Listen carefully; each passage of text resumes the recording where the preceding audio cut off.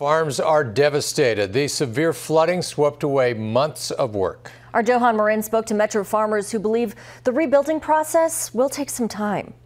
35 acres of vegetables were lost at Nelson Produce Farms in yesterday's severe flooding.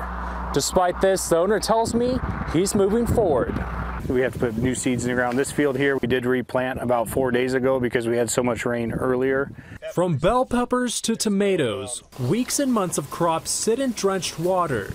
It gets frustrating just putting it in and taking it back out and ripping it back out and planting it again and, and expenses of that. Nelson saw yesterday's flooding fill the land with at least seven inches of water. The produce that was salvaged was stored in the greenhouse. I think it's going to affect the earliness of the the vegetables. I think will be a little bit later, but we do bring in uh, for like our roadside stands. We do bring in produce from Georgia and and Florida and.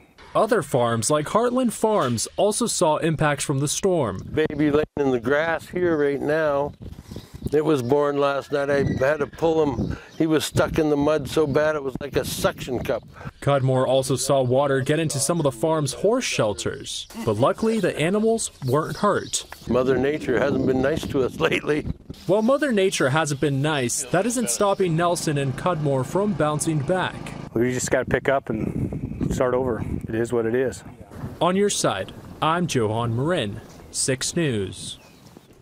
Nelson Produce Farm has a market that opens to the public on June 4th. That's less than two weeks away now. The owner tells 6 News he and his team will do what they can to make sure there aren't any delays.